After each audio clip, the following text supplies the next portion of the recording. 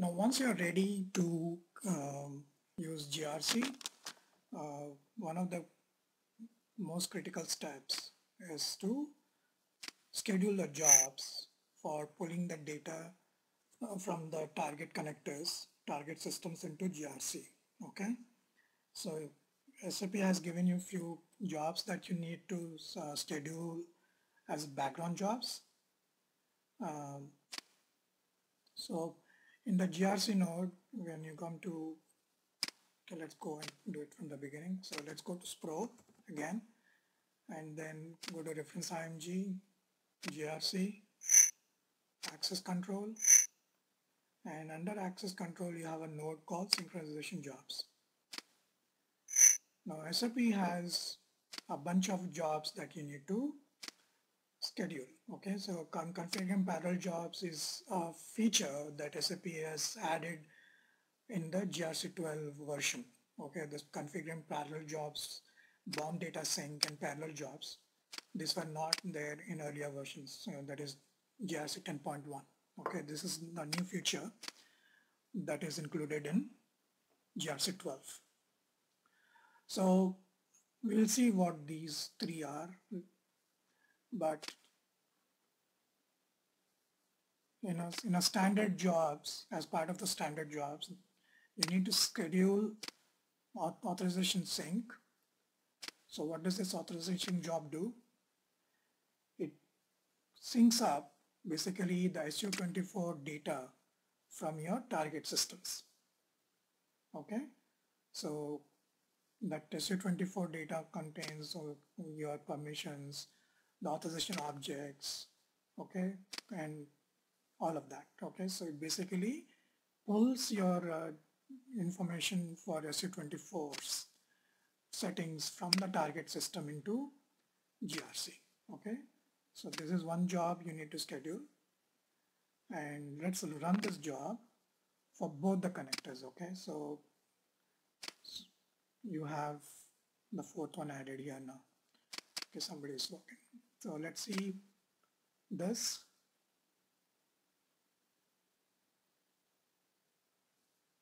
okay you schedule this as a background job okay so sometimes some of these jobs take a lot of time so that's not a good idea to run it in the foreground like what I just did. That's not the right thing to do. So run this in the background job.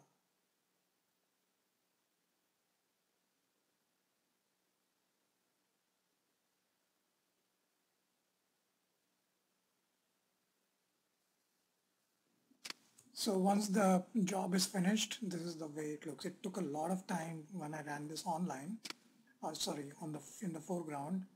So you should get a successfully executed message and you need to do this for the okay before I do this I want to pick the program for this okay so let's copy this program because I we need this program for uh, going through the parallel jobs uh, configuration okay so now you do the same step you run it for your other uh, uh, connections. So now let us do this. Okay, so we run this in the background. Okay, and then if you have a printer, set up a local printer or something, you can probably select, put it in a spool. Okay, so immediate. And now normally in a customer place this has to be scheduled uh, as a you know with a periodic job okay now depending on what your criterias are you know you could schedule it every week every two weeks once in a month uh, whatever you know depending on how frequently you make changes to your roles and SU24 data. Okay so you need to schedule as a periodic job. Okay so click on restart immediate and click on check save. The background job is scheduled. Okay so let's go. So what does this do right? Sync authorization sync data uh, jobs uh, synchronizes the SU24, mainly the SU24 data from your backend system, your target system into the GRC system. Okay. The other job that you need to sync is repository sync job. Okay, so in this job, let us take a note of this job also, what this job is.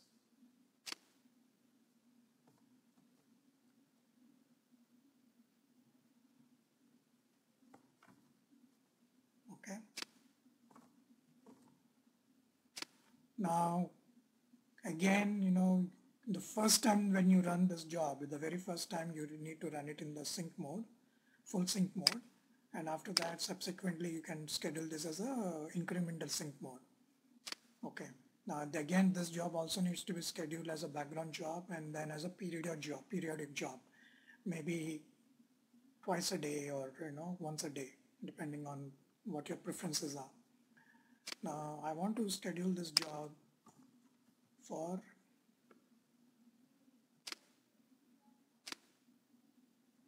both the connectors that I have or you can schedule it uh, for one connector at a time.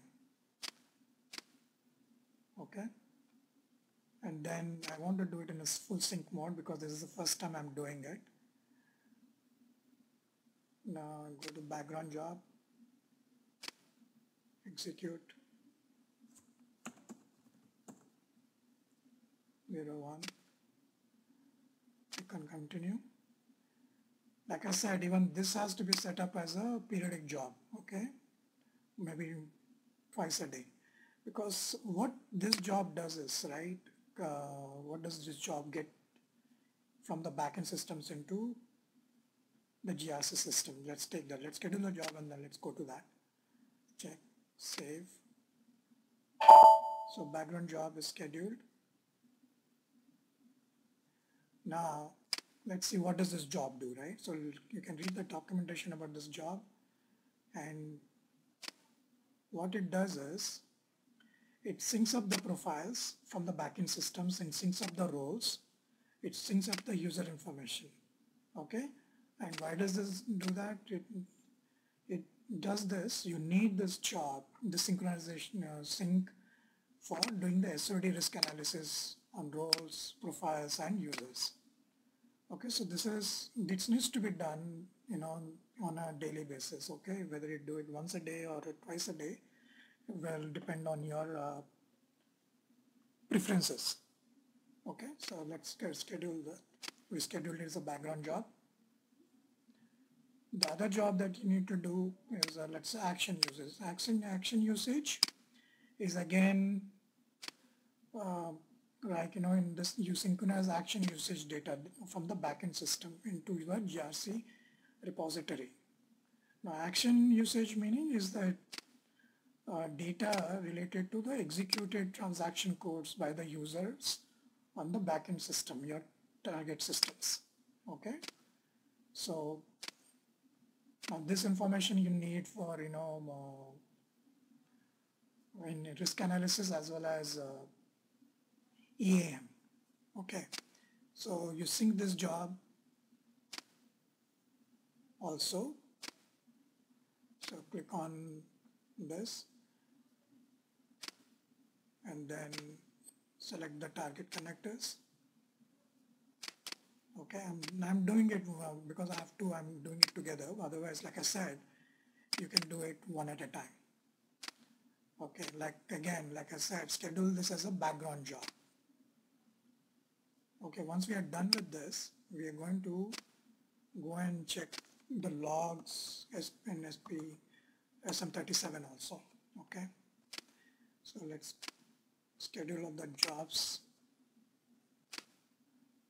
Okay, the frequency of the jobs, right, what we are doing will vary, okay? You may do some fun jobs on a daily basis, some jobs on a weekly basis, some, some other jobs on a monthly basis, okay? Depends on how you want it but it's preferable that you you know you do it on a you schedule everything as a periodic periodic jobs okay so let's take the this job also the program for this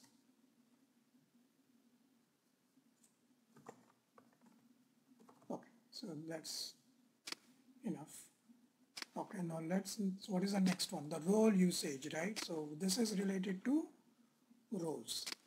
Okay the role usage data is related to relate is the role related data that contains transaction codes executed by the users. Okay so this again you can synchronize the role usage data from the backend system into the grc repository okay so schedule this job also as a background job I'm going to execute this and pick the role. So I'll pick the program name for this. Okay, so you're syncing with this job, you're basically syncing the role information from the backend systems into your GRC repository. Schedule this again as a background job.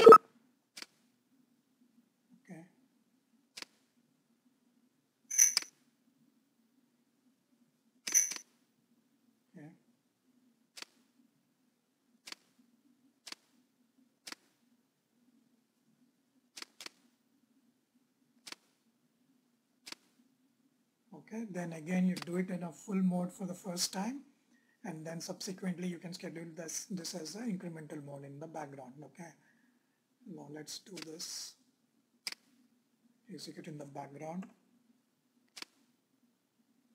And continue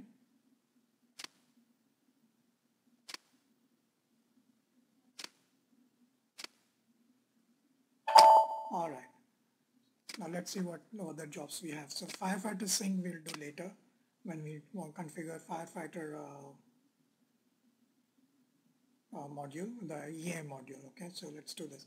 So these are the four jobs that you typically need. Uh, we will come back to configuring parallel jobs in a in a while, in a bit. Okay. Now let's go and check what is happening with the background jobs. Okay, so go to SM37 and let's say execute okay? So this thing failed. One of those jobs failed. And this is for something else. Okay?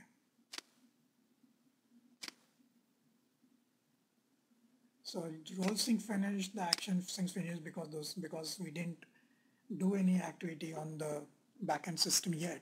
So that's why those things those have been finished. Okay? So we'll run these jobs after we create uh, the use one user ID and uh, some some user IDs and roles in the backend systems and then we'll run these jobs again. Okay, so PFCG is running. Okay, repository sync is running.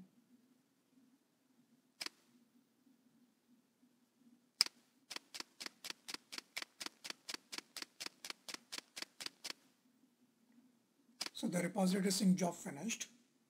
Now let us wait for uh, the PFCG authorization sync job to finish also.